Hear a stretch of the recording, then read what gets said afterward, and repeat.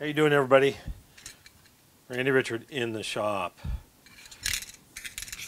So we're uh, back on the old, uh, of course, steam engine build, and I need to. We're continuing on with the cylinders. We need to mill off this surface here, and I want it to be squared up so that when it's on the engine, it looks nice and square. Uh, there's no square or straight sides to gauge on. It's all, you know, rough casting. So this is what I came up with on where to mark, and it's a specific distance from the center, I should say. Uh, 800 thousandths from the center of the bore out. So how, how do you figure that out?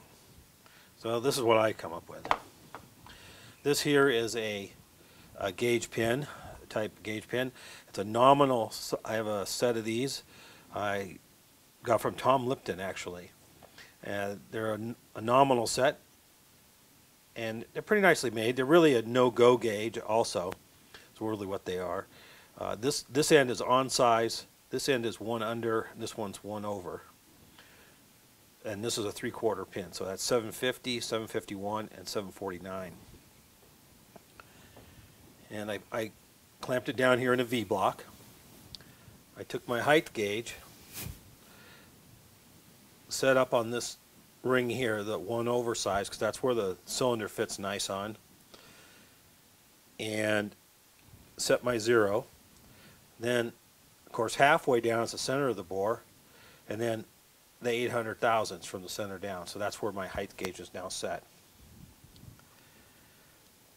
Now I'm going to slip my cylinder on here. Oh, there we go. Now I'll put a little extra, I'll put this other gauge block on there to give a little extra weight. And I'm just going to eyeball that where I looks like it's nicely squared up. There, you guys got a pretty, pretty good view. Uh, that's actually probably better than the view I have looking at it. So I'm going to have to tilt it a little bit.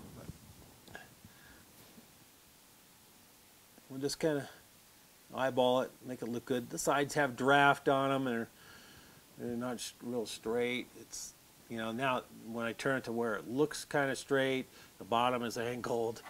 Uh, we can even set a square up there and kind of get it so maybe this gap is if I set it up against the cylinder, what that gap looks the same maybe on both sides or something. I don't know. It looks pretty good. Then I'm just going to, you know, hold it firmly, not moving it. There we go. Scribe a line. And what we'll do is we'll have to mill it down to that line. And uh, I already did this cylinder as practice. Now we'll go to the mill and I'll show you how I'm going to set this up in the mill. Here's the setup over here in the mill. Now I have both cylinders in here at the same time. I used adjustable parallels, one for each cylinder, so I could get their height the same. And I used another adjustable parallel, I just held it up here on my scribe line, and uh, you know, squared up my scribe line with the parallel, so the top of the jaw. Uh, and then I put the other one over here. So the, these are the, the lines are at the same height. So now I have the lines at the same height using the two adjustable parallels. So I can adjust them independently. And they're both square. I think this is going to work. And I can mill them now at the same I can do all this at the same time. Mill them off to height. And they'll be within a few thousandths which is fine and I can do the counter bores the same, drill all the holes. I can do everything at once here. That is the plan.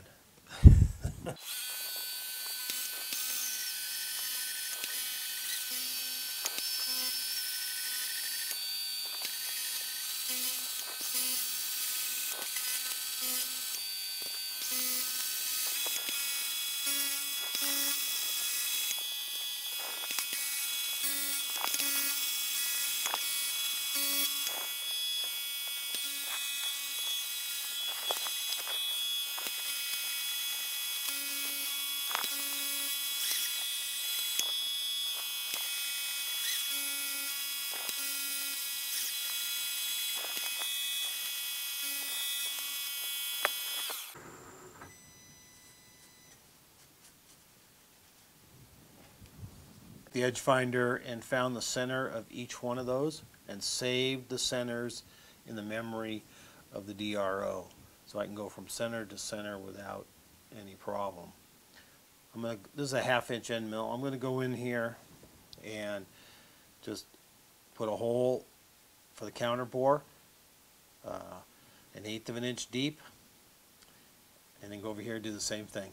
And then I'm going to come back with a boring bar and enlarge the hole to 700 uh, thousandths, uh, an eighth of an inch deep.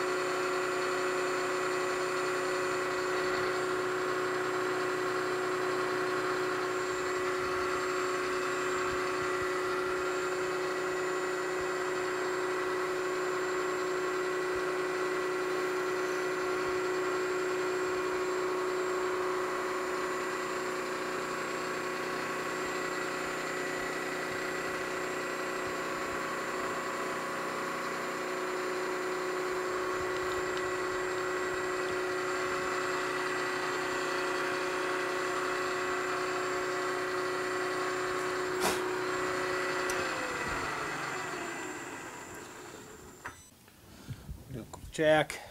I think I'm pretty good. And 25. There we go. This one has a little tiny burr up on it, so it's probably going to lead a little more. And yeah, a couple thousandths. So that's close. Good enough.